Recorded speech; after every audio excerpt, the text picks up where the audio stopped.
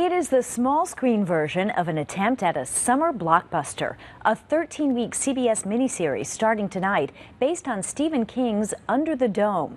We caught up with Maine's most well known author at the red carpet screening in North Carolina. Right, yeah. No, thank you. It's great to see you. Had to come down here to Familiar finally interview faces, you. yeah.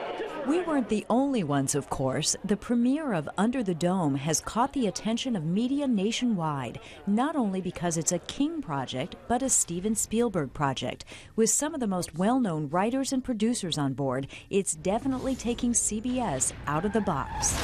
You know, I wasn't sure when we I first wrote the script, and that we've got cows getting cut in half. It's not the kind of thing you normally see on CBS, the Tiffany network, and yet they've been so supportive of it. The story itself is set in the fictional town of Chester's Mill, Maine, and filmed here at what's known as the Hollywood of the East, Screen Gems Studios in Wilmington. King says he would love to someday film in Maine, but it's going to take the kind of commitment Wilmington has made. And that's something that the state of Maine's going to have to work on. If they're really committed to the idea of having a film and TV community in Maine, which should happen, uh, then we're going to have to build it up one step at a time. And there have been several little baby steps in that direction, but so far it hasn't been a full-fledged commitment, and I look forward to that happening. There are 10 sound stages set on 50 acres at Screen Gems. Under the Dome has two of them. It's not often you get to go behind the scenes of a TV show. This here served as the bunker on the set of Under the Dome. A lot of drama takes place right here. And it may not be what you expect if you've read the book, but it all has the Stephen King stamp of approval.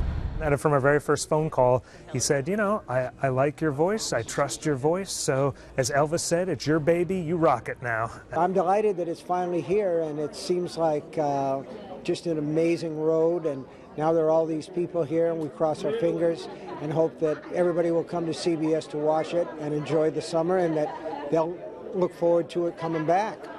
Just one more thing, Mr. King, about that CBS 13 helicopter that crashes in the book.